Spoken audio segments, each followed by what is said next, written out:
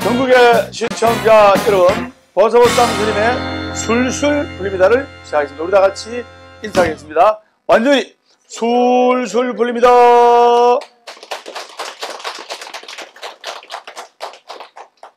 오늘은 여러분들께 108산사 순례의 정진공덕에 관해서 한 말씀 드릴까 합니다. 그래서 정진여일 무한가피란 말이 있습니다. 변함없는 마음으로 정진하면 무한한 부처님의 가피를 입는다. 좋은 말이죠. 그래서 정진여일 무한가피 한결같은 변함없는 마음으로 정진하면 한량없는 부처님의 가피를 입는다. 스님도 변함없는 마음으로 바로 지금 지금 그대로의 모습으로 나에게 남아주오 완전히 솔솔 불립니다 변함없는 바로 이 모습으로 정진하고 또 법문하기 때문에 부처님의 무량한 가피를 보고 있는 거예요. 그동안 고각사의 발전은 바로 기적과 불력에 힘입었다 해도 과언이 아닙니다. 그래서 우리가 108번뇌라는 그런 말씀을 많이 들어봤을 겁니다. 그래서 여러분들이 가지고 있는 염주도 108염주.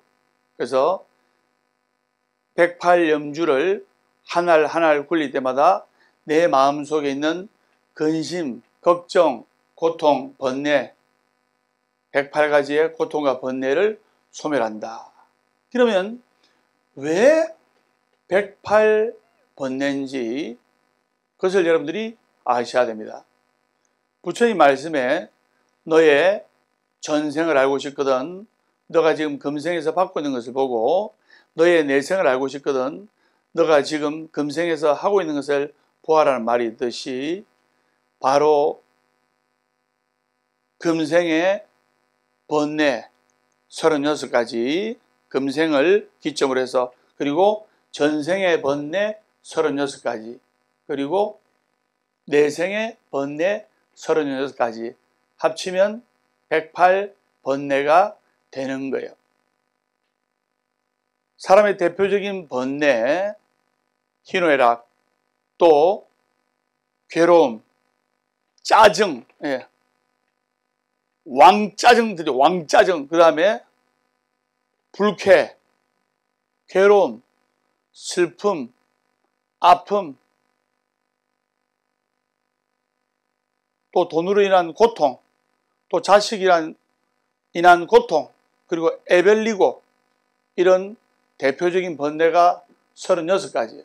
그래서 이 전생의 번뇌 36가지를 소멸하고 금생의 번뇌 36가지를 소멸하고 그리고 다음 생에 내생의 번뇌 36가지를 다 소멸한다 해서 전생, 금생, 내생의 번뇌를 다 합치니까 108번뇌가 되는 거예요. 그래서 이 108번뇌를 소멸해야만 비로소 정진여일 무한가비 한량없는 마음으로 108산사조례를 가면서 열심히 기도 정진할 때 부처님의 무량한 가피를 입는 거예요. 그리고 실제로 있었던 이야기인데 정말 스님과 같이 108산사순례를 가서 무량가피를 입은 사람들이 너무너무 많아요. 염주 한 알 한 알 그 절에 이름이 새겨져 있는 염주를 자기 손으로 염주실에 깨워가지고 한 알 한 알 모으면서 그 염주화를 하나를 모을 때마다 나의 번뇌가 하나씩 소멸되고 나의 공덕과 복덕이 하나씩 저축이 되고 백팔산사 순례를 이제 전국의 명산대찰 108군데의 절을 다 순례하고 참배하고 이제 다시 이제 시작을 하게 되었는데 다시 시작을 하는 시점에 어느 보살님이 계셨어요. 그 보살님이 83살이었어요. 83살에 아이고 스님요 내가 108산사순례 해양대까지 살 수 있을까요? 그때까지 살아있으면 참으로 내가 신기하다고 생각합니다. 그러니까 제가 뭐라 했냐면 보살님 108이라는 숫자를 잠시 방아착 내려놓고 그냥 한 달 한 달 무사히 별탈 없이 스님하고 같이 전국 명산대 차례 가서 순례하고 기도하고 또 나를 돌아보는 여행도 되고 그리고 나를 돌아보는 거룩한 큰 기도가 되니까 편안한 마음으로 그냥 산책하는 마음으로 스님과 같이 가죠. 했는데 이분이 94살이 된 지금도 그때부터 계속 스님과 같이 108배 하고 기도하고 했는데 94살인데도 내보다 더 건강해요. 108배를 지금도 할 수가 있어요. 그래서 그분 다시 신청을 하셨는데 그래서 108 번뇌를 소멸하고 108 무량 공덕을 입는 108 산사 순례를 법담 스님과 갑니다. 그래서 전국 보화사 신도님들이 그 시간에 다 모입니다. 그러면 출발 시간이 다 틀리겠죠? 그렇게 알아주시고 그래서 여러분들이 염주 하나를 모으고 번뇌 하나를 드러내고 법담 선생 노래 중에 108번뇌도 있지 않습니까? 아시는 분? 손 한번 들어봐주세요.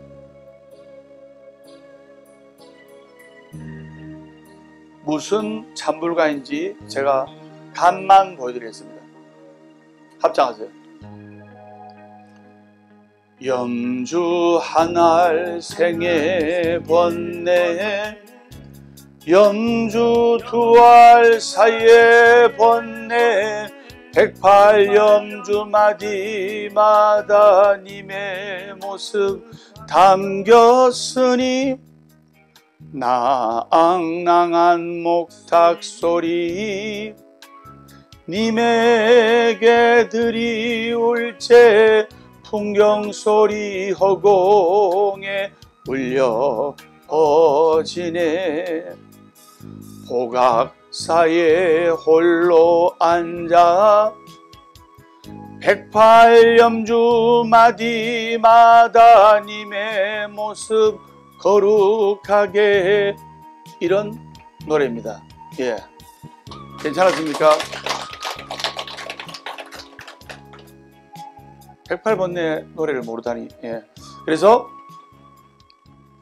우리가 108산사 순례를 가든 또는 저만 기도를 하든 또는 특별 기도를 하든 정말 기도할 때는 이 정진, 정진이란 것은 끊임없이 노력하는 거예요. 끊임없이 쉬지 않고 노력할 때, 뭐, 좀에만 좋은 일 생기면, 아이고, 부처님요, 감사합니다. 이라고 또, 좀에만 안 좋은 일 생기면, 아이고, 내 불교하고 안 맞는갑다. 그저라고도 안 반갑다. 종교 바꿔야지. 종교를 바꾸는 사람도 있고, 종교를 바꾸고 절을 바꾸기 전에 먼저 본인의 마음가짐부터 바꿔야 되는 거예요. 그걸 여러분들이 아셔야 됩니다. 여러분들은 성공하는 도량 보아서왔기 때문에 여러분의 아들, 딸들도 반드시 성공할 수가 있다 이 말입니다. 세명 수환자 아시죠? 네. 완전히 술술 풀립니다.